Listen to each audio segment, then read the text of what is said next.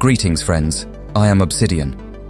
Just recently, Chasing Skyler gave me an exclusive leak of the video for his first ever episode of Skibidi Genesis, and boy do we get quite the treat in this. We have everything from action to plenty of scenery where my speaker buddies join me on a mission. But before we get into today's video, make sure you subscribe to me so you don't miss any future analysis or theory videos. Also give my video a like, as it will help me out greatly, and it would be appreciated. It would also let me know if you'd like to see more of this series on the channel. Are you ready? Because I know I am. Let's begin. The scene begins, and we appear to be in what looks like a forest area, with a building in the background of the scene. I wonder what this building is exactly.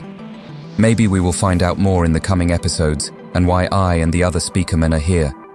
The scene cuts, and we now are being taken through the trees, and there we see myself and the other speaker men jumping from tree to tree to get to where we need to be.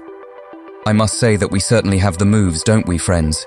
We glide through the forest with ease with no issues whatsoever, and it's so epic to see how we travel in action.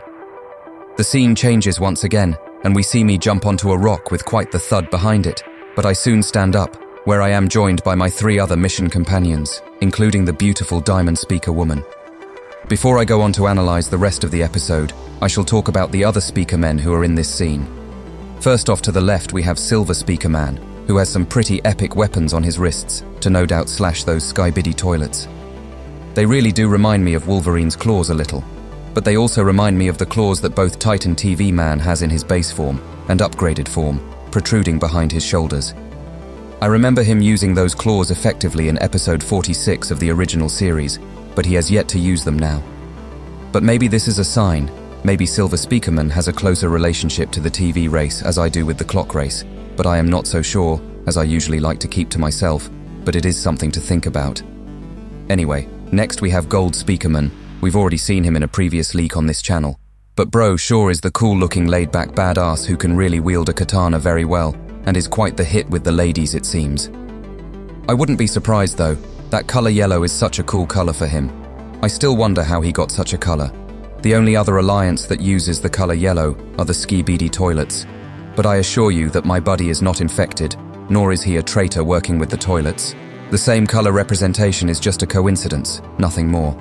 Besides, he is the gold speakerman, and he shines bright compared to these pathetic Skibidi toilets. After Chasing Skyler had posted Gold Speakerman's recent leak, the dude has been flooded by the ladies wanting his attention, but sadly, you will have to hold off on that since he's a very busy man who's always on missions. The third and final one I bring to your attention is the incredible and ever so beautiful Diamond Speaker woman, who is the light of my life and one of the most badasses when she fights.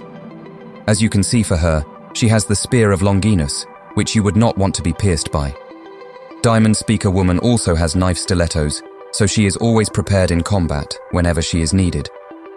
We already talked about most of these points in the first Skibidi Genesis leak type video, also showing her, and the one with her and Gold Speaker Bro. Now back to the analysis. The team looks ahead, wondering what they are about to do, when I retrieve my tablet to look at it. On the tablet, it reads, Objective, destroy Skibidi's secret weapon. The fate of this war lies in you and your team's hands. Good luck. I wonder who sent that message and why specifically we were chosen to go on this mission. It sure is something to think about. This is where it becomes exciting for us, and we begin to hear the all-familiar sounds of Skibidi Dop Dop Dop Yes Yes anthem. I put the tablet down and begin to look off in the distance to where the sound is coming from, and then show the way to my team, who are waiting on my direction. The scene changes, and we see that I am now running into the action, where I use my front bass speaker to launch myself into the air just as my sister Speaker Woman did the same thing in episodes 61 and 66 of the original series. While I'm going in slow motion, I take my knives out from my headphones, and before I land, the scene changes to that of the Skibidi toilet that was likely making all the noise while me and my team were on the hill. He looks a bit different from all the other usual Skibidi toilets, but that doesn't give him an advantage, because I suddenly land on the Skibidi toilet, killing the toilet in the process and I jump off into the air once again, this time with my knife ready to draw, and it swiftly comes into contact with another Skibidi toilet as I decapitate him, and then I land with a stance, as his dead head drops from the sky. In the background, We see Gold Speakerman epically killing a Skibidi off with his katana, and we also see Silver Speakerman behind Gold Speakerman getting in on the action, except his action is punching Skibidis in the face with his claws by the looks of it.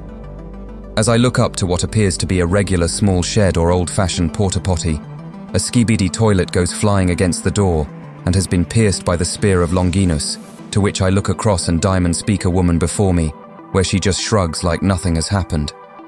I told you guys that that spear wasn't one to be messed around with, and now you saw why.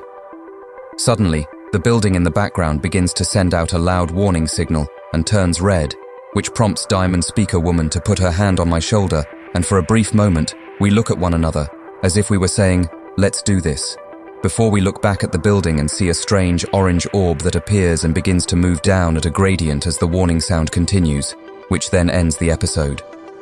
Wow, what a banger first episode this was. I wonder what could happen in the next episode. Maybe we come face to face with even more Skibidi toilets who are much stronger and could maybe overpower us.